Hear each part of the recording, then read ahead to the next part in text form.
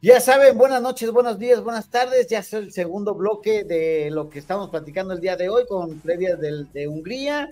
Este, y pues vamos a ver qué sucede. Buenas noches, otra vez, Igor. Buenas noches, buenas noches. Nuevamente, ¿cómo estamos, doctor? Este, doctor ingeniero en ciencias, en ciencias, ocultas. Este, fíjate que es, es un tema Hungría, un circuito muy bonito, un circuito muy. Ojalá no llueva, ojalá no llueva en Hungría este, todo, todo apunta que va a ser interesante porque Red Bull ya no se va a dejar, McLaren no quiere tampoco que se considere como llamada de petate, y pues Hamilton que ya ganó todo un suceso porque había la, la cábala de que aquel piloto que llegaba a los 300 grandes premios ya no volvía a ganar, y pues Hamilton lo rompió. Hamilton rompió este mito. Entonces, está interesante porque ahora ya, ya tenemos más alternativas de quién puede ganar un gran premio, doctor. Si no es Max, puede ser, si se, si se pone las pilas Ferrari, pues también puede ser Carlos Sainz o Leclerc, ¿no? Porque ya han ganado. Lando Norris, ahora, Hamilton, Checo Pérez, o sea, ya son varios los que pueden ganar. Sí, no, y, bueno, Hungría, Hungría, este, nos vamos con el premio de Hungría, ¿no, verdad? O, nos vamos con... No, sé cómo, no sé cómo tengas preparado. Mira cómo parpadea aquí esta pantalla. Debe ser mal esa cámara de. Ahí está. En Hungría nos presentaron, bueno, antes de Hungría, tuvimos este, la presencia aquí de, déjame ponerlo ahora sí. ¿Por qué no aparece? Ah, ah vamos, a hablar del festival de velocidad. Sí, vamos a hablar acerca de. ¿Vamos con esto antes de Hungría? Bueno, perfecto. El, el Festival of Speed que se celebra en Woodwood, Inglaterra.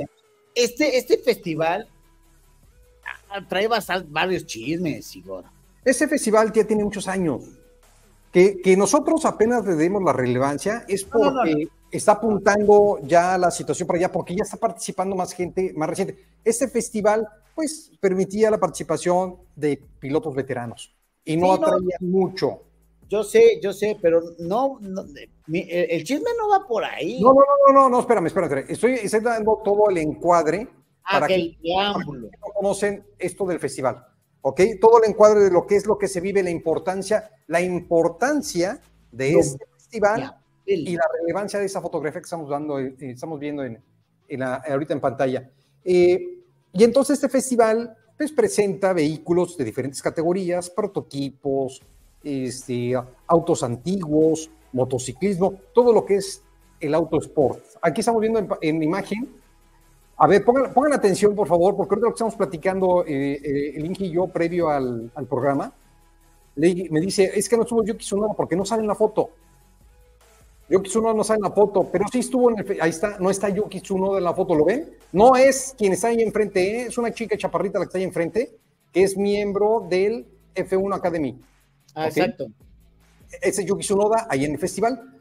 Y ahí está Yuki Tsunoda sobre el Honda eh, que está celebrando su 64 aniversario.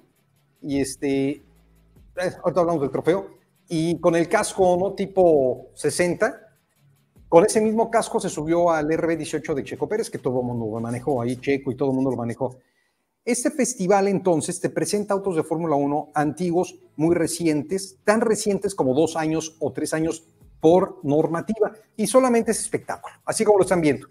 Tienes tú tus pacas de paja a un lado y nada, que por cierto en este festival chocó Kevin Magnussen un auto, un, un hiperauto o un auto eh, prototipo, algo así, no, no, no sé, pero, pero bueno, eh, otra vamos a hablar de Kevin Magnussen. ¿eh? Una... 3 millones de dólares. No, no, no, no, es impresionante. Bueno, es tan relevante este, este festival ven ustedes jaguares, ven Rolls Royce, de todo. Es un, es un festival que quien lo organizó, esta, esta fotografía que usted, ahora sí, vamos, al vamos al tema. Qué bueno que pusiste la foto, Inge. Vamos al tema. Fíjense bien, hubo una entrevista con Adrian Newey hace aproximadamente unos 15 días, si mal no recuerdo. Eh, eh, acudieron con él estuvieron preguntando del adiós de Red Bull, que por qué no ha estado presente en los últimos grandes premios, si se estaba involucrando o no. Él confirmó que no estaba presente. ¿Te acuerdas que aquí dijimos que ya no estaba metiendo mano? Bueno, pues él lo confirmó en la entrevista. Al parecer ya está metiendo mano para cerrar la temporada, pues por lo menos de aquí a un buen rato. Sí va a estar ya este, metiéndose.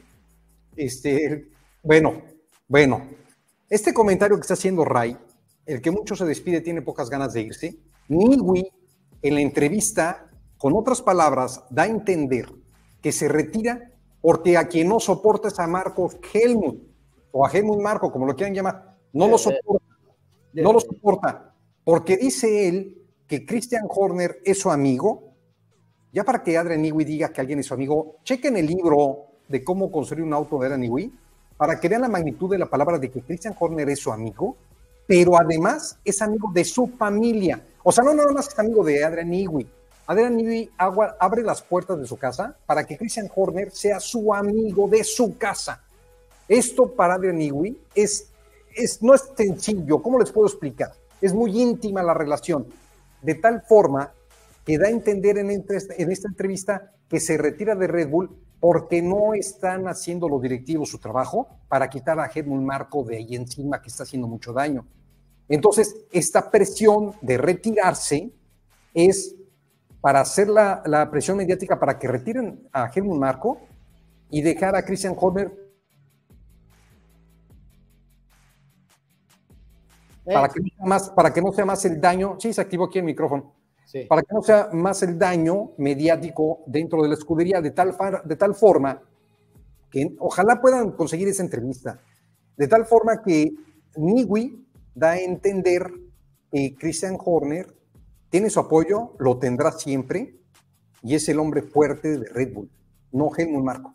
A partir de esa entrevista, prácticamente pinta su raya y ya no vamos a ver a Adrian Newey con Helmut Marco, yo creo, en ninguna fotografía.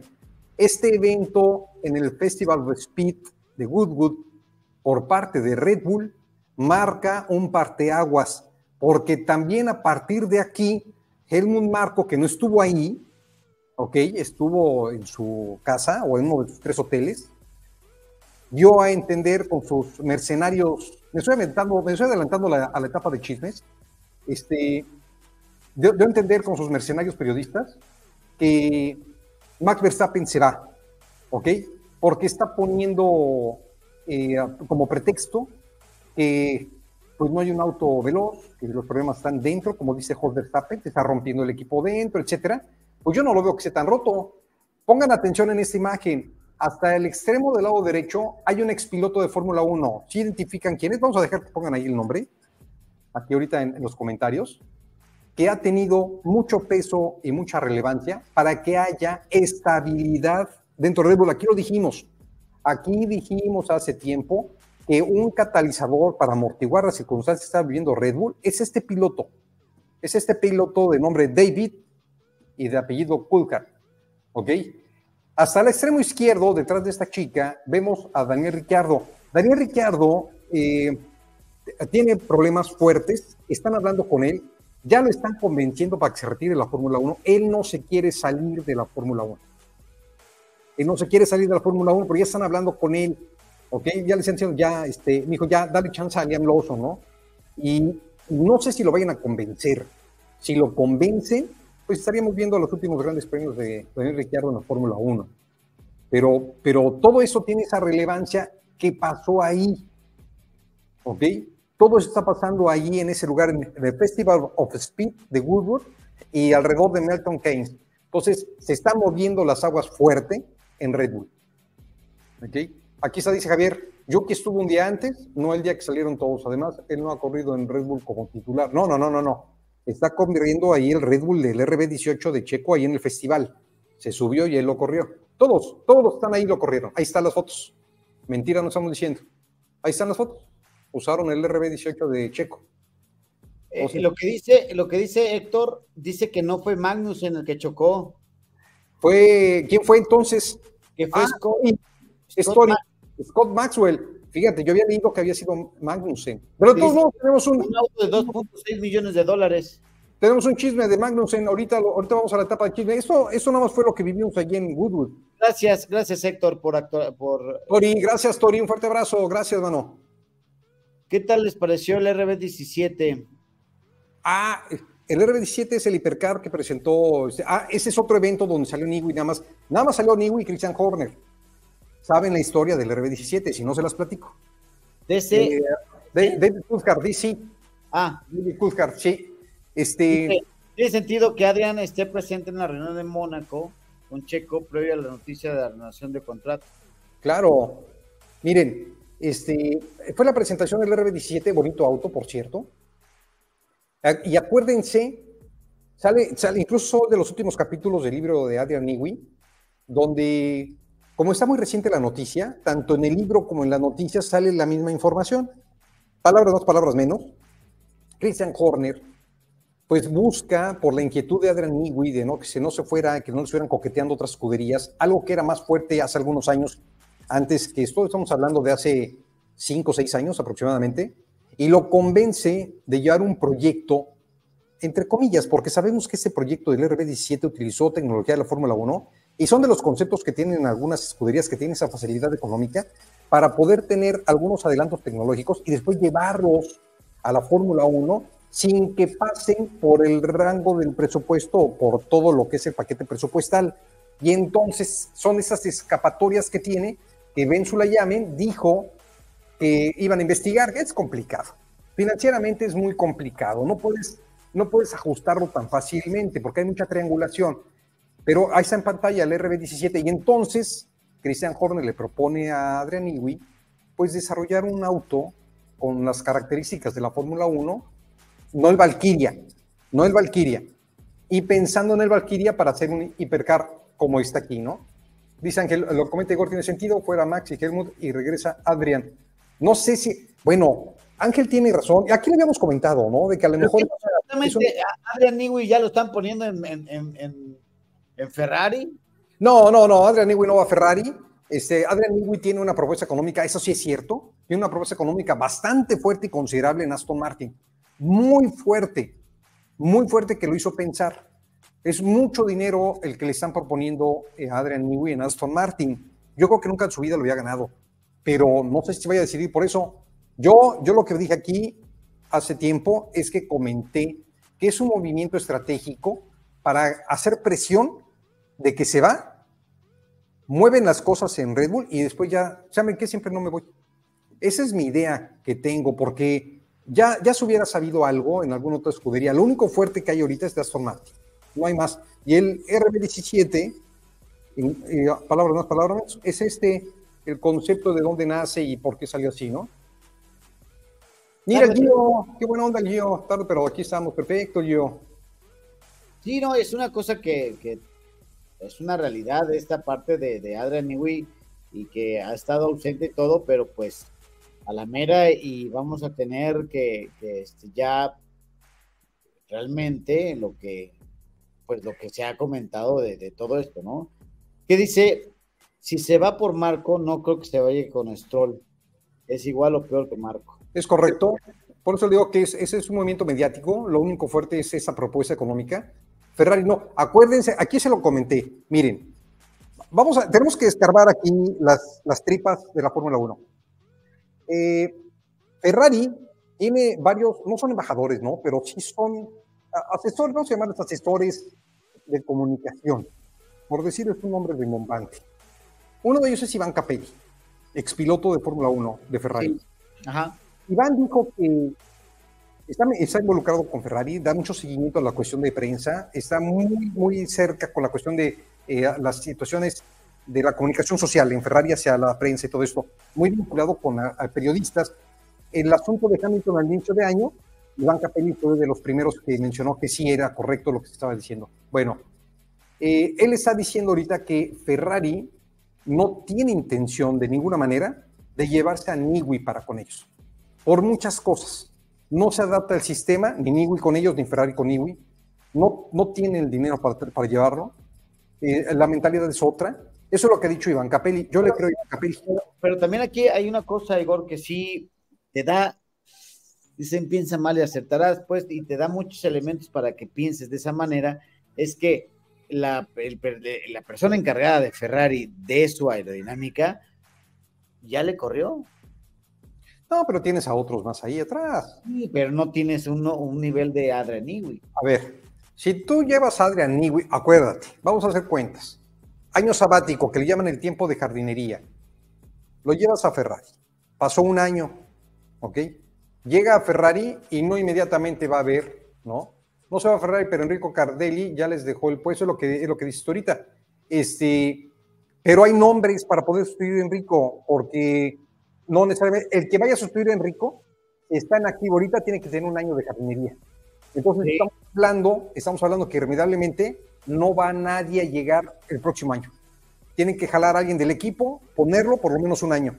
Y ya el siguiente, que estamos hablando de dos, para que desarrolle, para que el tercero, el tercer año, a partir de ahorita ya tenga efecto.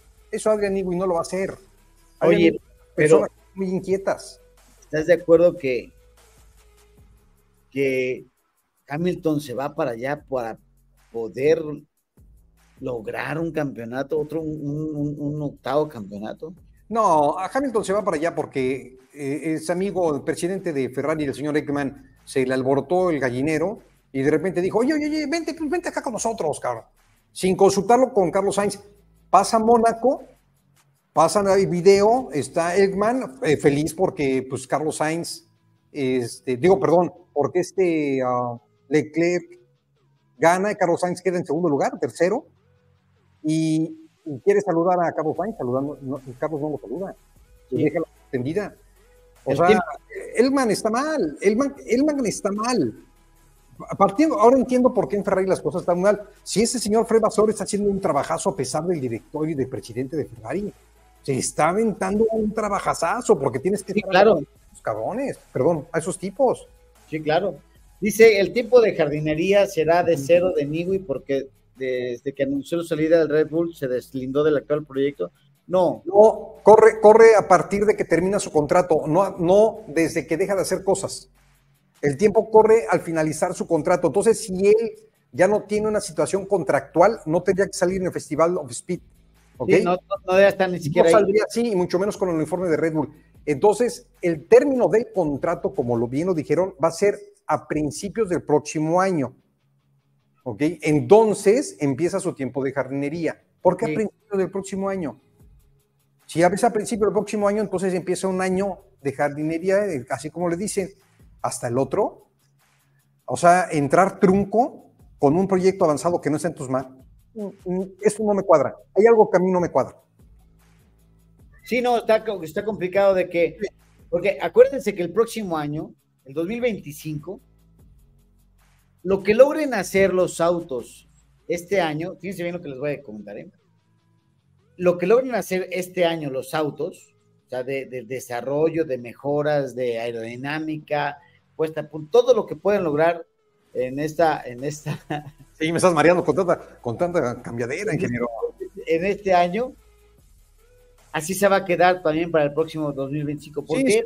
Porque el 2025 es para el desarrollo del auto del 2025. Sí, pero no se ven las pistas. En las pistas del 2025 vamos a ver lo que vamos a ver en la segunda parte de esta temporada. Exactamente. Si ustedes no han visto el programa que les preparamos acerca de cómo va a ser el diseño del 2026 y qué, y qué implica y demás, vayan al canal de, tanto en Facebook como en YouTube, están, está, está en YouTube lo van a encontrar más fácil porque pueden escoger nada más, porque en Facebook subimos este tontería y media también a veces este, ahí, pero en YouTube ahí lo pueden encontrar para que vean que, cómo va a ser el, auto 2026 y las reglamentaciones que están hasta el momento descubiertas, porque falta mucho todavía este, que, que rascarla eso. Entonces, si realmente pasa lo que está diciendo este señor que está aquí a mi izquierda, no derecha, bueno, del lado que lo estén viendo, ¿sí? Me cambias a cada rato, ya, ya parece No, no, se me cambia el lado, ya estoy como Racho Mager, pero. Sí. ah, vamos a platicar que salió del closet, ¿no? Bueno. ya está de moda esa madre, pero en fin. Sí, sí, claro. Este, pero es una cosa que, que, que, lo hemos comentado, no, no puede desarrollarse y estar trabajando a, las medias para llegar al 2026 con alguien que desarrolló todo el 2025 el auto y que diga, ay, hiciste puras porquerías, hijo, déjame, te lo corrijo, y se va a ver, y se va a ver la corregida hasta el 2028. Mira, yo tengo una teoría. Tiene que salir en algún momento una fotografía, un video, viendo a Adrian Newey caminar en las calles de Dearborn, en Michigan, donde están las oficinas de Ford. Porque mi teoría es, anuncio que me voy, no me meto, sacrificamos a Sirve que se hace la política dentro de Red Bull para sacar a Helmut Marco y me aboco al diseño del motor junto con Ford en esta época. ¿Sí me explico? Y entonces, como ya estoy por salir y que no, me estoy involucrando, pero tampoco puedo estar con otra escudería, lo que sí puedo hacer en dado caso es diseñar el motor de Red Bull y Ford. Y luego dije, y luego digo, ¿sabes qué? Siempre no me voy. Pero ya hice algo que ahí está en la laguna del reglamento y que lo puedes hacer. No sería la primera vez que sucede, ¿eh? No sería la primera vez que sucede, pero esto puede pasar con Iwi. Charles O'Connor, buenas noches a todos. Llegando a sí, buen Charles O'Connor que está ahí en el grupo, ¿cómo no? Sí, oye, pues esa es una teoría que tengo desde hace días y no lo quería comentar porque decir, oye, tú estás muy conspiranoico, pero puede pasar. Digo, está la laguna. Estoy está, de acuerdo, estoy de acuerdo que puede pasar. Está la laguna en el reglamento, doctor. Ah, ya te fuiste para allá. ¿Tomaste sus pastillas de chiquitolina o qué? Sí, de por chaparro. Oh, la canción. Este, hay que empezar con el tema de los chismes. Bueno, no, no, hay que irnos con Hungría. ¿Qué vamos a hacer, doctor? ¿Por qué? Eh, Hungría hay que comentar lo del trofeo para que Lando Morris lo rompa otra vez. Lo que pasa es que necesito agua.